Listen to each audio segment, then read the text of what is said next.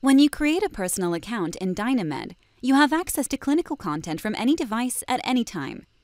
In addition, signing into Dynamed with a personal account enables you to follow Dynamed topics and updates, as well as claim CME, CE, CPD, and MOC credits and hours. Please note, this process must be initiated while you're at your institution on a networked computer.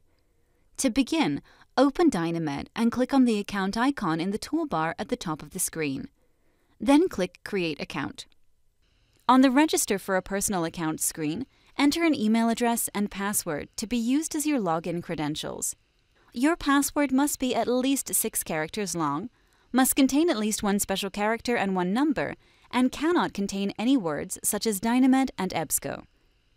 Complete the fields in the Your Information area and click Register.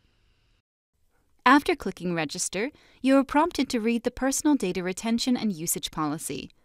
Select the Yes button to consent to the collection of your personalized data, and click Continue to finish setting up your account. The account creation process is complete, and you are signed in to your new Dynamed personal account.